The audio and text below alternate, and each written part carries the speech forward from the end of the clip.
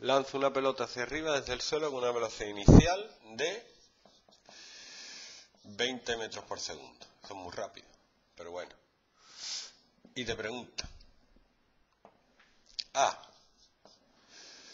Altura máxima. Este es completito, completito. B. Altura máxima. B. Tiempo en alcanzarla. C.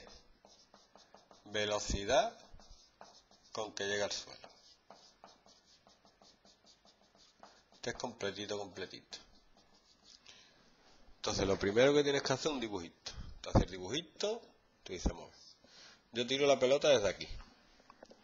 La pelota sube. Y llega aquí. ¿Vale?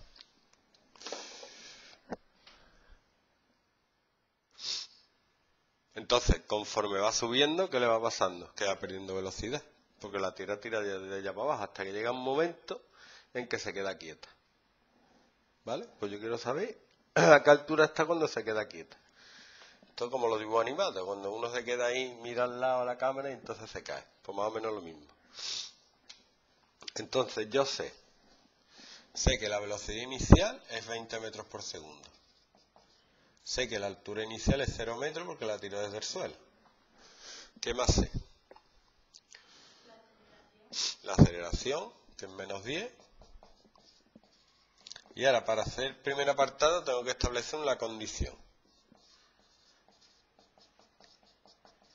¿Qué le pasa a la pelota cuando alcanza la altura máxima? Que la velocidad es cero. Hay un momento que se queda parada aquí, la velocidad es cero y luego empieza a caer.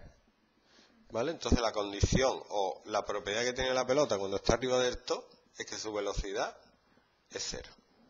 Entonces esa es la condición que tengo que hacer para calcular la altura máxima, que la velocidad final sea cero. Entonces yo me cojo las dos fórmulas y sustituyo. Velocidad final 0 igual a velocidad inicial 20 más la aceleración que es menos 10 por el tiempo. Y eso me da 2 segundos. Es el tiempo que tarda la pelota en subir. ¿Vale? Y ahora la altura que alcanza es, la altura es la altura inicial que es 0 más la velocidad inicial que es 20 por el tiempo que ya lo he calculado que es 2 más un medio de la aceleración que es menos 10 por el tiempo al cuadrado. 20 por 2 es 40.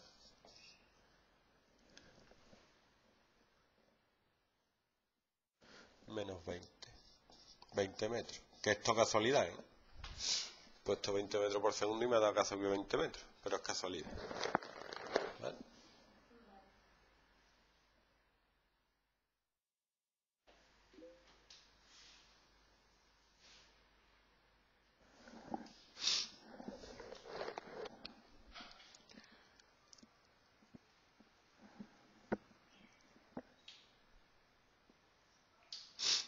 O sea que la altura que tiene es 20 metros cuando llega arriba del top. Y el tiempo que tarda en alcanzarla, ya respondió el apartado B, que son 2 segundos.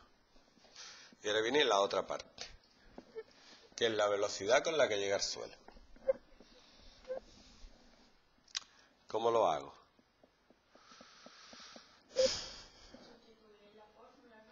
Sí, pero ¿cuál es la condición? La condición es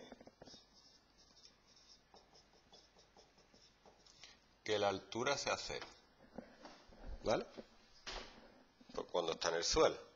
Entonces yo digo, vamos a ver, la altura final es la altura inicial, que también es cero, más la velocidad inicial, que es 20 por el tiempo, más un medio de la aceleración por el tiempo al cuadrado.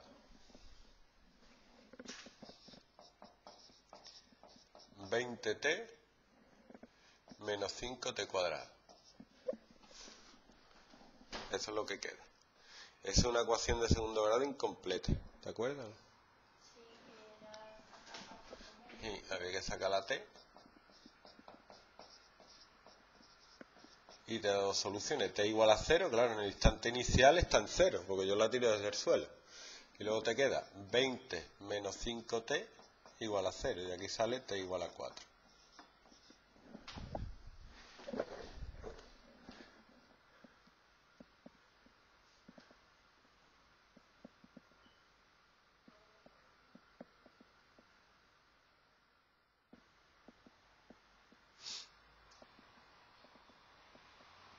¿Con qué velocidad llega al suelo?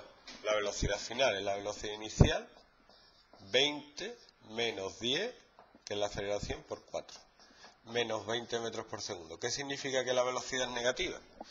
Porque cuando cae, va para abajo. Entonces la velocidad, como yo considero que todo lo que va para arriba es positivo y todo lo que va para abajo es negativo, la velocidad final tiene que ser negativa, porque está cayendo. ¿Vale? Fíjate que tarda lo mismo en subir que en bajar. En subir tarda dos segundos. Y en llegar al suelo otra vez tarda cuatro segundos. O sea, tarda dos segundos en subir y de los dos segundos los cuatro van otros dos segundos en bajar.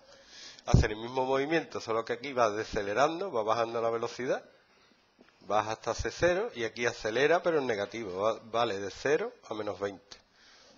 Y llega al suelo con la misma velocidad que lo tiraste. Por eso nunca hay que escupir para arriba. Pues te cae a ti.